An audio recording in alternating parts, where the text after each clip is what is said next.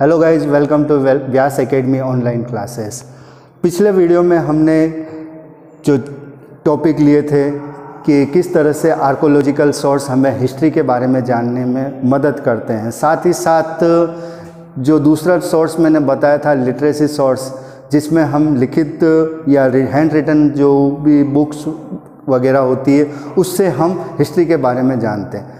तो अब main top point आता है कि हिस्ट्री कितनी कैसे क्या हो सकती है?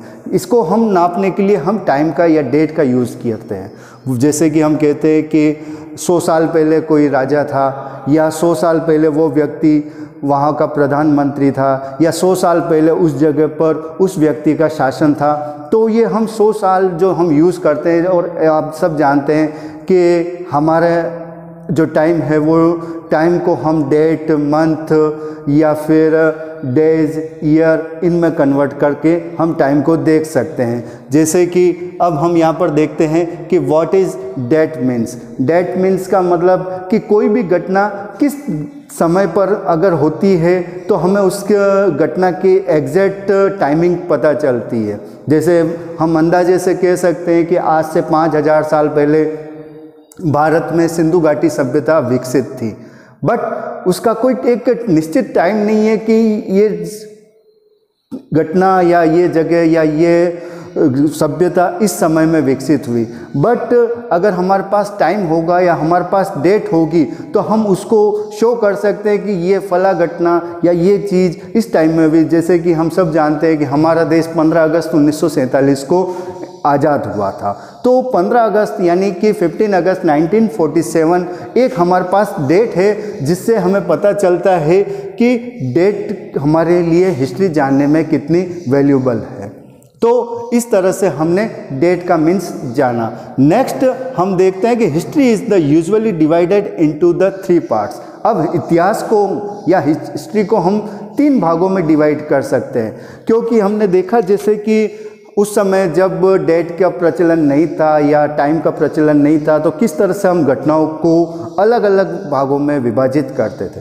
तो इसके लिए हमने तीन भाग बताए हैं कि ancient history medieval history and modern history अब ये तीन पार्ट को अगर हम देखें तो ये इंसेंट हिस्ट्री का मीन्स ये होता है कि ये वो समय था जब मनुष्य मानव सभ्यता का विकास हुआ था और मनुष्य पाषाण काल में रहता था। उस समय उसकी स्थिति ऐसी थी जैसे कि जानवरों की होती है। उसमें सोचने, समझने की बुद्धि नहीं थी। वह केवल अपना पेट भरने के लिए रहता था, जीवित रहता था। तो वह गुफाओं में रहता था, पढ़ना, लिखना, उसको कुछ नहीं आता था। तो ये वो समय था जब हम मनुष्य के बारे में अध्ययन कर सकते और इसकी अगर हम देखें तो लगभग इसको दो लाख से चार लाख साल पहले की स्थिति अगर हम इसको देखें तो मान सकते हैं।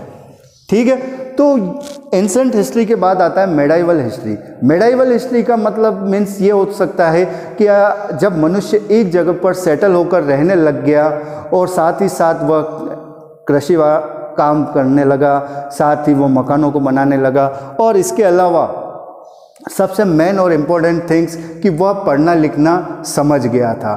तो ये समय वो था मेडाइवल हिस्ट्री का। जैसे जैसे समय बीता मेडाइवल हिस्ट्री और आगे बढ़ी और एक समय ऐसा आया कि मनुष्य दुनिया के इस अर्थ के जितने भी प्राणी हैं, सबसे श्रेष्ठ और सबसे बुद्धिमान प्राणी बन गया। क्यों? क्योंकि उसकी बुद्धि का बहुत ही ज़्यादा, उसका माइंड का बहुत ही ज़्यादा विकास हुआ। तो ये सब समय था मेडाइवल हिस्ट्री का और इसको अगर हम देखें तो मेडाइवल हिस्ट्री लगभग आप टेंथ सेंचुरी से या फोर्टीन सेंचुरी तक आप इसको मान के चल सकते हो। तो ये मेडाइवल हिस्ट्री के बाद नेक्स्ट टॉपिक आता है अपना मॉडर्न हिस्ट्री मॉडर्न हिस्ट्री का मतलब होता है कि लगभग फोर्टीन सेंचुरी से लेकर आज दिन तक का टाइम जो भी घटनाएँ होती है। क्योंकि अब हमारे पास सोर्स आ गया था टाइम आ गया था, जिससे कि हमें किसी भी घटना के बारे में जानकारी मिल सके। जैसे कि फ़र्स्ट वर्ल्ड वार कब हुआ सेकंड वर्ल्ड वार कब हुआ, अमेरिका कब आज़ाद हुआ तो उसकी एक डिटेल अपने पास डेट होती है, जिससे कि हमें उस घटना के बारे में इंफॉर्मेशन मिल सके। तो ये सब संभव हो पाया मॉडर्न हिस्ट्री की मदद से। तो इस प्रकार से हमने देखा कि हिस्ट्री को तीन भागों में हमने किस तरह से डिवाइड किया? नेक्स्ट टॉपिक आता है कि अब हम हिस्ट्री के बारे में जानते हैं तो कोई भी घटना के पीछे अगर आपने एक चीज़ और नोटिस की होगी कि कोई भी डेट या वगैरह लिखते हैं तो उसके पीछे बीसी या एडी लिखा हुआ आता है। ये क्यों लिखा हुआ आता है? ये समय को गिनने के लिए यूरोपीय पद्धति चालू की गई थी।